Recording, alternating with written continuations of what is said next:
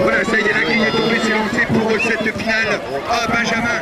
Oh, quelle belle empoignade entre deux soins de Antoine de Saint et à l'intérieur, c'est Romain Maillot qui vient de prendre le commandement, alors que de Antoine était le mieux sorti de la grille. Et Romain Maillot est en train de nous faire une démonstration technique. Là, il, est, il a pris la première place. je peux vous assurer qu'il va pénaliser.